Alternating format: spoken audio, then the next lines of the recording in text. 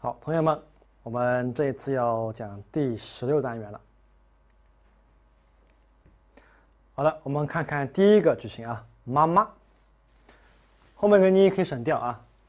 那妈妈的话呢，第一个它什么词性？对，它其实在我们初级阶段是看到过的。它表示一个，它它是一个形式体言，相当于咱们说形式名词啊，也可以啊。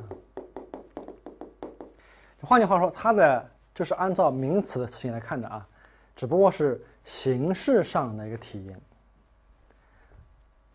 那继续的话呢，就毫无疑问了，动词那形、一形，名词什么呢？名词修饰型，因为妈妈就是名词嘛。那含义来看的话呢，它表示啊，保持原样，保持的那个状态没有变啊，这个含义。就那样子。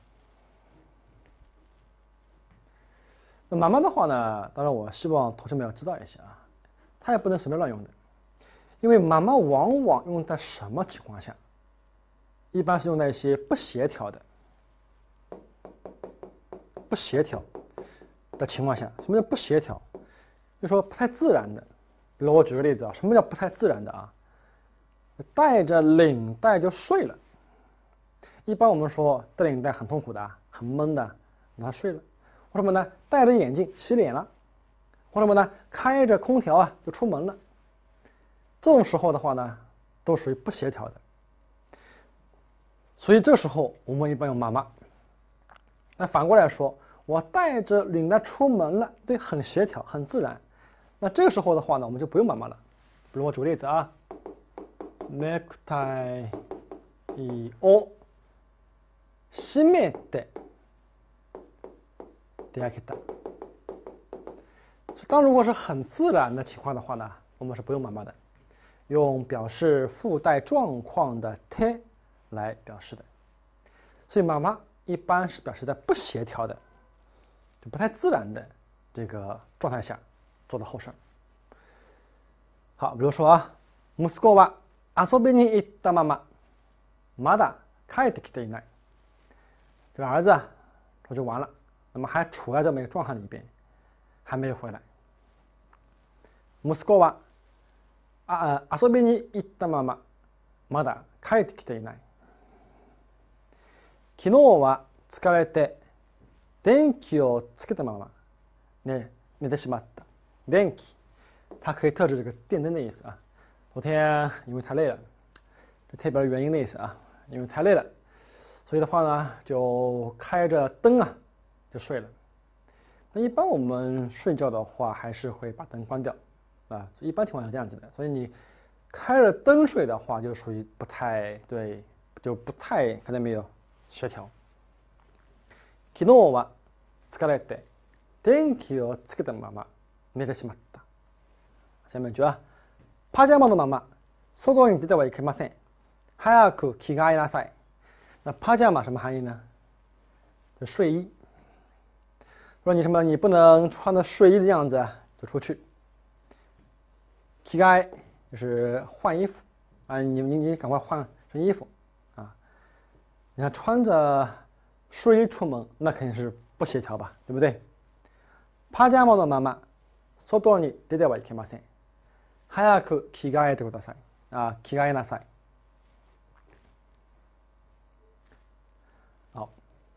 那么接动词时候的话呢，一般用他形啊，这也是蛮重要的啊。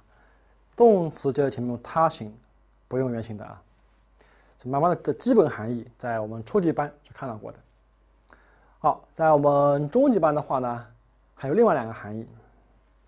那接续的话呢，仍然是一样啊。动词的词书形，我名词啊，讲诺。那么什么含义呢？它表示随心所欲，看到没有？它表示一个叫随心所欲的意思啊，就任凭怎么怎么样，我听凭怎么怎么样这个含义。那么这个讲法的话呢，多数是用在一些惯用句里边啊，比如说阿西诺姆克妈妈散策尼迪亚克鲁，散策啊，给我擦一擦啊，散策。那么这是一个比较偏文艺范儿的，啊，含义的话呢，跟散步的含义是一样的。你表示目的啊，你说我那什什么叫阿斯诺姆克妈妈呢？走到哪算哪，我没有目的地的，啊，就乱兜。就说我是哎，走到哪算哪儿，然后呢，出去散步去了。阿斯诺姆克妈妈散策に出かける。好，下面一句啊，このブログは 自分の身の回りの出来事を気のままに書いたものだ。blog 啊，就博客，对日本人管它叫 blog，布劳格。那么 m i n a 里就是身周边的，这个的话怎么念啊 d e k i g o t o d e k i g o t o 一般指偶发的一些事情。那么 k i d 妈妈什么含义呢？就说我很随心的、很随意的写一写， 啊，不是什么很一本正经的含义在里边啊，就很随意的写一写啊。就这个博客的话呢，我就是很随意的把发生在我身边的一些事儿啊写东西。このブログは自分の身の回りの出来事を気のままに書いたものだ。日記というものあ日記というのは日々の生活を感じたまま思ったままに書くものだ。啊，所谓的 というのは下定义做说明，那么更加偏书面化用托瓦。所谓的日记就是就是什么东西呢？就是把我日常生活里面所感到的、所想到的事儿啊，写下来这么个玩意儿啊，么の东西。日記というのは日々の生活を感じたまま、思ったままに書くものだ。那么可以搭配的词很有限的，因为它主要还是一个惯用的表达方式 啊，多为惯用表达方式，如阿西诺姆克妈妈。キノム呃キノムクママ、オモママ，表示随随自己所想的，或者么呢？有想怎么样就怎么样，很很随意的啊，这种含义在里边。好，另外一个啊，第三个含义了啊，叫什么呢？动词的五 K 咪，五 K 咪的话呢，是日语里边表示 被动的含义，叫五 K 咪，叫受身。就换句话说，前面要加。不动态，什么含义呢？表示任凭别人的摆布，啊，任凭啊，就表示出没有我自己的主张啊，听凭了别人的这个想法。比如说，店員に勧められるままに高価なバッグを買ってしまい後悔している。 啊，这边天しまい的话是动词的 masing 中断啊，比较偏书面化。什么意思呢？我就听凭了，那这你表示动作发出方啊，就我听凭了店员的什么呢？一个劝，对吧？一个对他在帮你讲买这个买买这个嘛，对不对？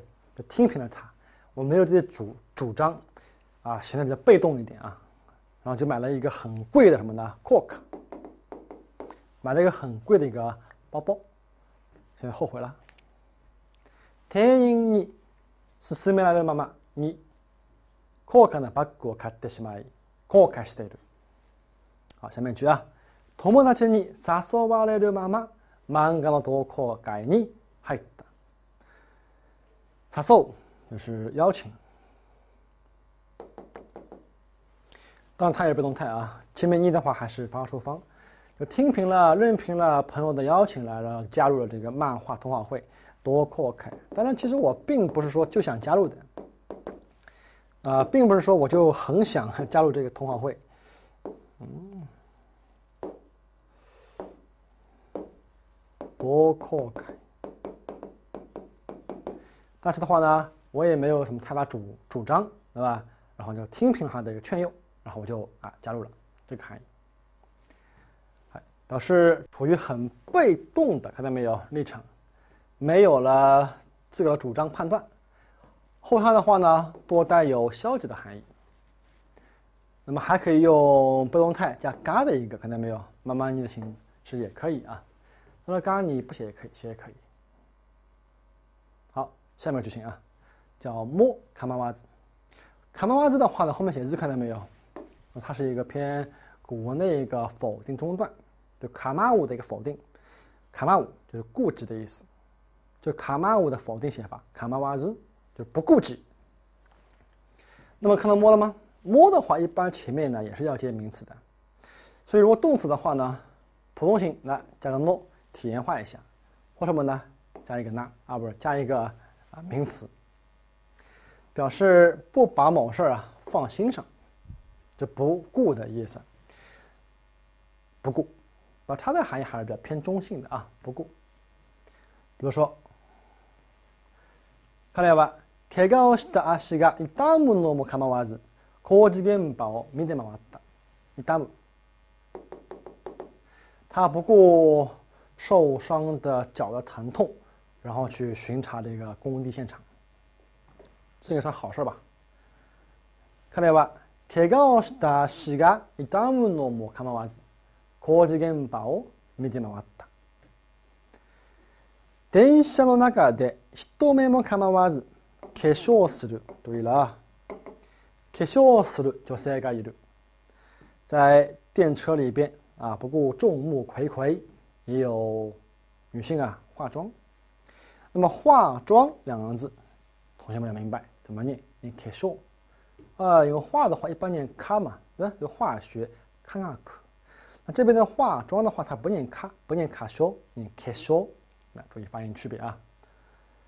電車の中で人目，就是别人的眼光啊。人目も構わず化粧する女性がいる。下面句啊。はい。びしょ濡れになるのも構わず、家でした猫を探し回った。那么びしょ濡れ这个词很重要。 什么含义呢？就湿透了，不顾啊，浑身湿透啊，怎么样呢？到处找离家出的猫啊，看猫逃了，去找猫去了。はい。びしょ濡れになるのも構わず、家出したね、家出したね、猫を探し回った。好，那么第二个例句的话呢，叫人目も構わず，这是惯用表达方式，表示不顾及。 别人的目光，这个含义。好，下面句型啊，哪里哪里摸拖在打，当然有摸在的话，那自然前面还是那么接。你摸前面一般也规定要接名词的嘛，所以的话呢，动词拉型一型，名词修饰性，那么加一个体验化的诺就可以了。名词嘛，自然可以直接放在前面，对不对？含义很简单嘛，当然两个字看到的话，我们一般中国人都明白啊。就说什么什么也是理所当然的，这个含义。啊，比如说，三週間も水をやらなかったのだのだだから花が枯れてしまうのも当然だ。枯れるわ。ね、三週間も水をやらなかったのだから花が枯れてしまうのも当然だ。你三个礼拜，这个“も”表示强强调之多。你因为你三个礼拜都没有浇水了，那花枯死嘛，那也是理所当然的，啊，虐待花朵是吧？三週間も水をやらなかったのだから、花が枯れてしまうのも当然だ。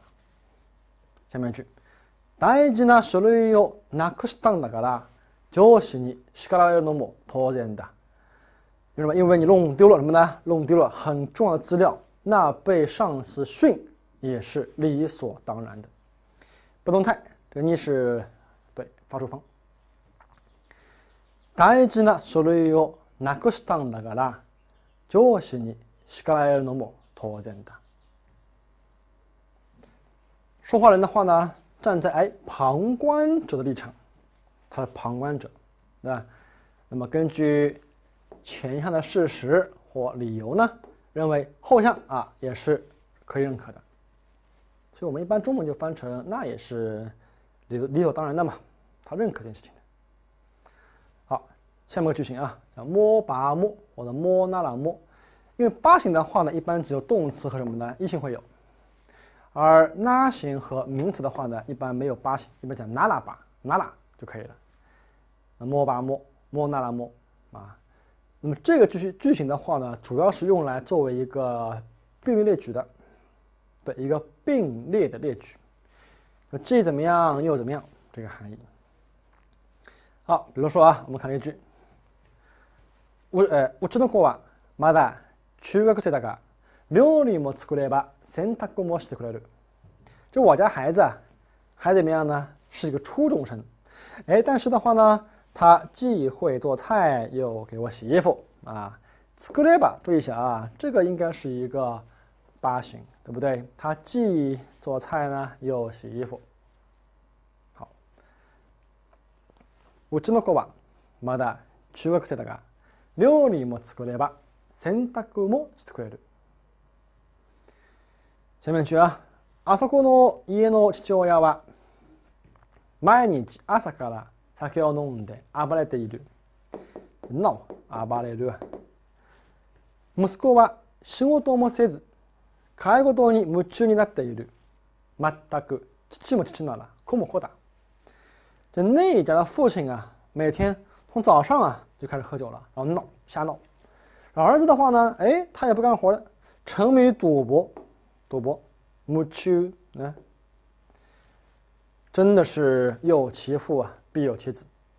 但是这句话的话，我们在翻译时候的话呢，我个人还是希望同学们怎么来翻呢？因为摸拉拉摸这种写法的话呢，主要是表示说话人一种批判的口吻，应该是父亲呢也不像话了，这儿子呢也不是东西。这样翻更加好一点，所以如果你把它翻成有其父必有其子的话呢，啊，当然也不是不可以，但是的话呢，更希望同学们把它翻成这父亲也不像话，那儿子那边也不是东西。而且啊，这种讲法的话呢，未必要这么来写，你单纯写一个扩模扩大也是可以的，也也可以的，这儿子不是东西，啊，这也是可以的。这种写法还是比较多的，比如说上司嘛也不像样嘛，部下嘛也不像样啊，都不像样。嗯，就是么就是那了，不干么不可打。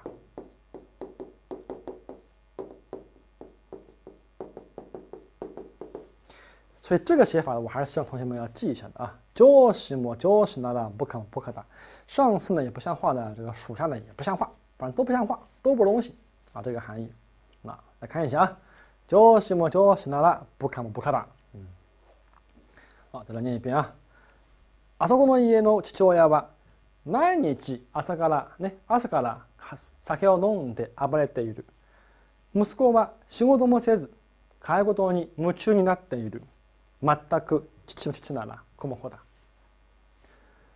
像第二个例句啊，A 么 A 那了，B 么 B 的。表示 A、B 双方都不像样，都不好。親も親なら子も子だ。夫も夫なら妻も妻だ。啊，丈夫也不像样的，妻子也不像话，啊，都不像话。啊，好，下面句型啊，叫么么嘎，梦嘎。梦的话呢，它口语形式是么诺的口语形式啊。那么诺还有体言嘛，所以接续的话还是动词啊、那型啊、一型啊。它的一个名词修饰型，它表示强烈的否定。啊，注意它表示强烈的否定。这个的话呢，虽然没有 nine，，当然比较否定的，所以我也是把它作为我们的隐形否定来记的。啊，怎么会什么什么呢？啊，不会怎么怎么样。所以我个人的话呢，建议各位啊，可以背个才怪。去才怪，那去不去呢？不去了，对不对？好，我们看例句啊。注文も計算も間違えるようなあんなレストランにはもう二度と行くものか？ものか？不是ものか？不是提问，不要上升调，往下走。连订的东西，我叫的东西，对吧？算账都错的这种那种餐厅啊。我去第二次才怪了，我怎么会去再去第二次呢？对不对？这“莫再”的意思啊，托是最大限度啊。 注文も計算も間違えるようなあんなレストランにはもう二度と行くものか。下面啊，私は歌が上手ですって？上手なもんですか？あなたの方がずっと上手ですよ。这个的话呢，是一个反问。哎。你说我唱歌拿手，哪里难哪哪里难啊哪哪里难受了，对吧？我哪里拿手了？根本就拿手才怪了啊！它它这个含义啊，你才拿手呢，对吧？ず多，你比我拿手多了，对吧？ず多。所以这个句型，咱们再看一遍吧。私は歌が上手で上手ですって？上手なもんですか？あなたの方がずっと上手ですよ。表示说话人再也不做某事的强烈意志。 那么口语里面的话呢，还有更加随的说法，就是“梦嘎”。那女性的话，一般呢建议还是用“モノデスカ”、“モンデスカ”、“デス”啊，还放上去的，有“デス”啊。好，我们看最后一个句型啊，“モノガアル”。那“モノガアル”的话什么含义呢？接续的话，因为有“モノ”在嘛，自然还是动词那型一型的名词修饰型，这是毫无疑问的。因为摩诺还是体言嘛，就是名词嘛，接续应该没问题。 那么含义的话呢，各位来同学们来知道一下啊，表示评价什么呢？感受。那有什么什么的哎一面，的确很怎么怎么样，这种感受啊还是很强烈的。所以往往它后面这种评价啊，我觉得确实啊怎么怎么怎么怎么样啊，这个含在里边。好，比如说啊。こんな単純な作業を3時間も続けるのは辛いものがある。 単純、单纯啊，我写这儿啊。単純。哦，这种这么单纯的工作啊，要持续三个小时，么强调之多，那的确是很痛苦。はい。こんな単純な作業を3時間も続けるのは辛いものがある。つらい呀，写辛啊，辛苦的意思。 彼女の演奏には人の心を動かすものがある。这个你は跟它相呼应的啊，就在他的演奏里边啊，就他的演奏啊，确实怎么样呢？能够打动人心啊，動かす。彼女の演奏には人の心を動かすものがある。下面句啊， 彼の説明にはどうも不自然なものがある。他的说明里边总感觉哪里好像不太自然。那多么这个词的话呢，同学们可能只记得一个表示，呃，一个万能语啊，多么すみません，或者么呢，多么ありがとうございました。但是的话呢，多么有四个含义的。这边含义的话呢，什么含义呢？表示哎，总感觉啦，总好像啦，但是的话呢，又无法用语言来表达，哎，总感觉有点不太自然， 这个含义。ね、彼の説明にはどうも不自然なものがある。表示具有某种因素啊，让说话人有某种感觉。注意了啊，常用哪里哪里你は哪里哪里ものがある。那么一般前面都是接现在时的好。我们先休息一下。